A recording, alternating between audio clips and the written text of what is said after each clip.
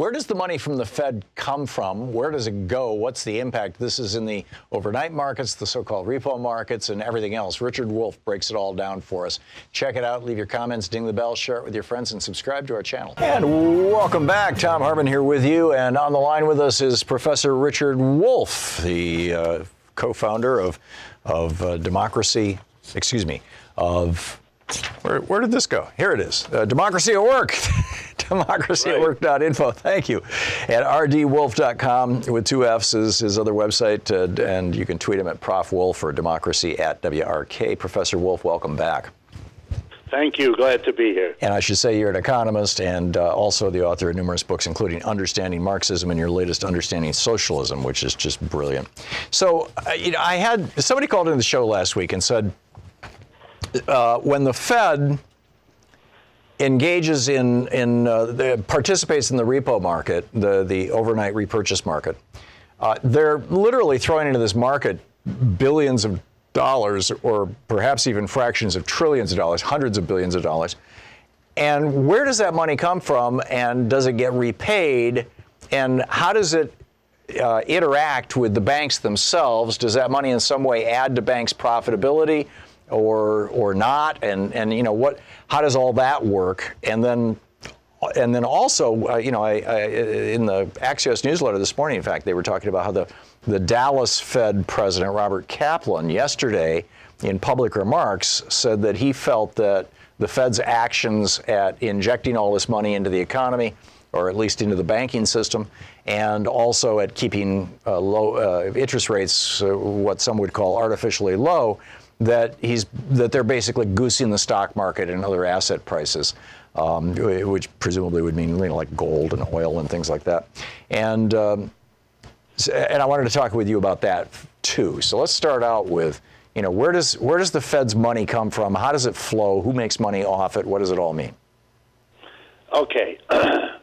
Federal Reserve is the, the, peculiar name for the American Central Bank. In other countries, it's called, you know, the Bank of England, the Bank of France, and things like that. It's historical why we don't call it the Bank of the U.S.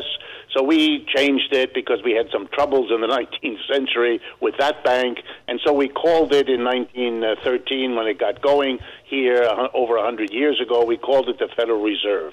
But the basic responsibility of the Federal Reserve is two things to control the quantity of money in circulation on the one hand, and to do it in such a way as to, quote, maintain price stability.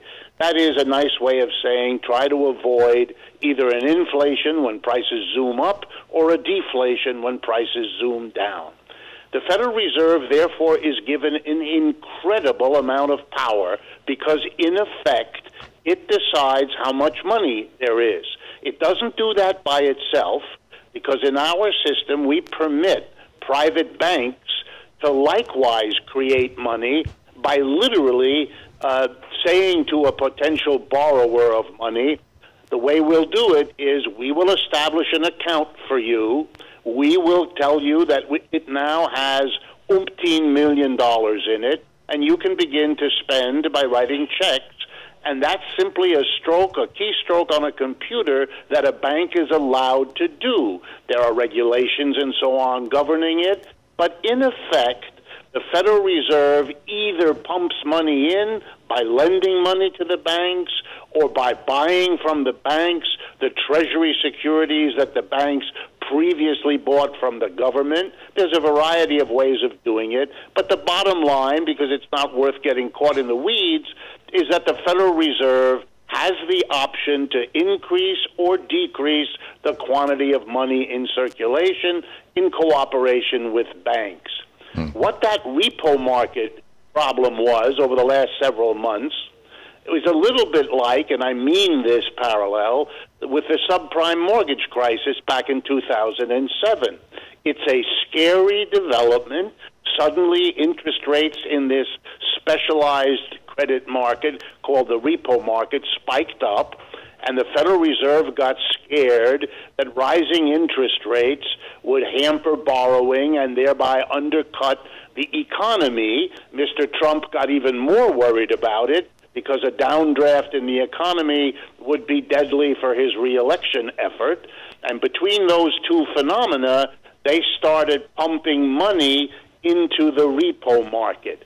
But markets are all linked. If you pump in money in one place, that money can quickly move from one market to another. And this is how we'll answer your second question.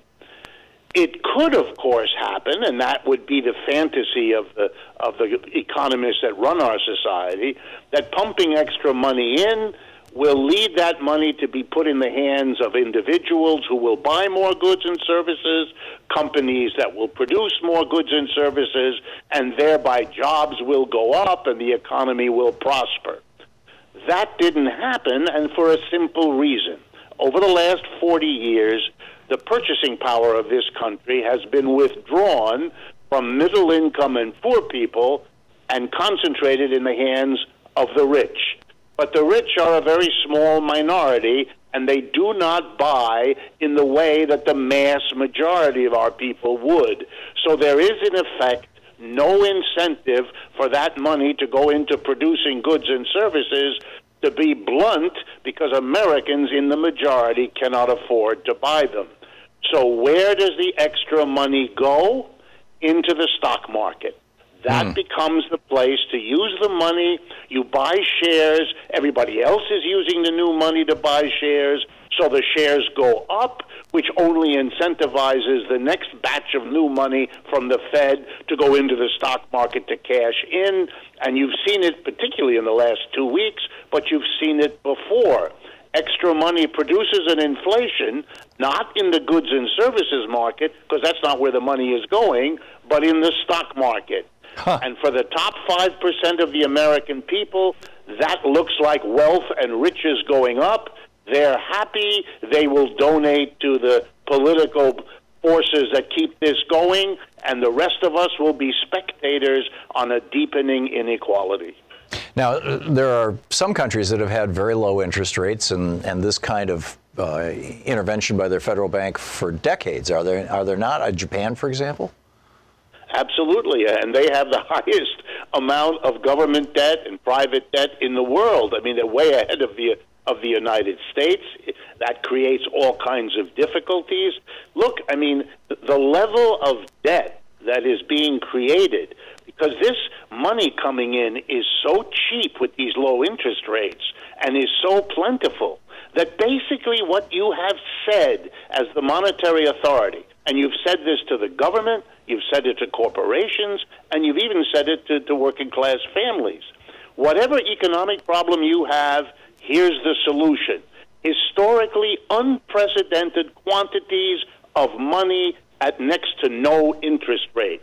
So what we have is an economy which for 10 years now has loaded up on debt in a way we have never seen before.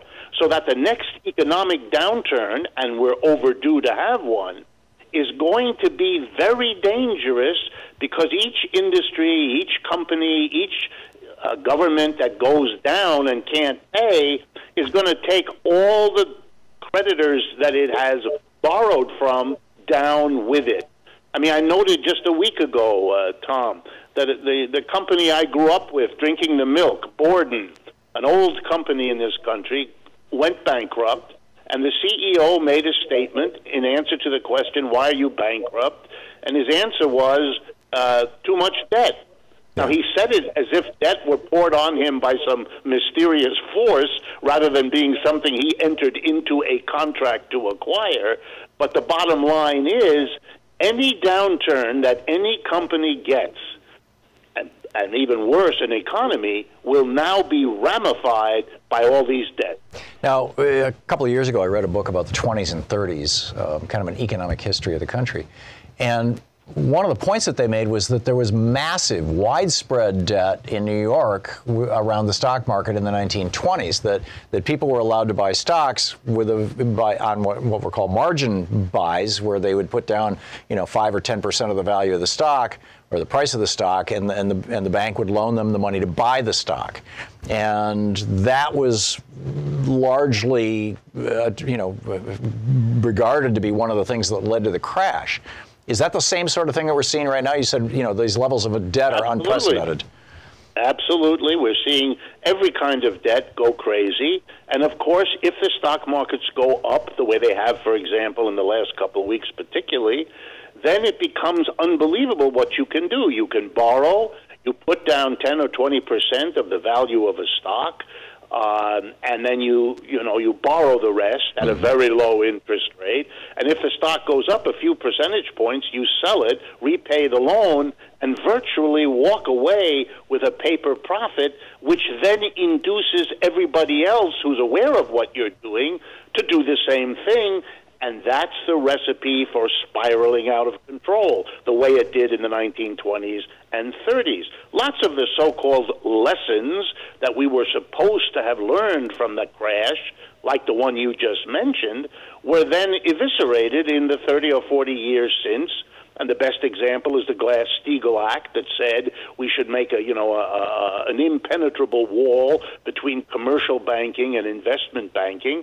Uh, they evaded it for 20 years, then they weakened it, and finally, under Bill Clinton, uh, the Congress voted to repeal it, and now we're back in the same mess that we were back then because we allowed the reforms after the Great Depression to be undone, and now we're facing the consequences.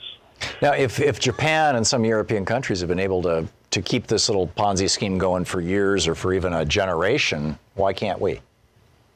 Because they operate with much more control. They do not permit the private sector, neither the banking sector nor uh, the non financial, non banking sector, to operate with the level of freedom from regulation, freedom from accountability that is the hallmark of the United States primarily and of Great Britain secondarily. And so you get you know, on some cases you get growth spurts because they're not held back by social responsibility. But unfortunately, the other side of that same coin is that they're free to engage in the activity that threatens us all.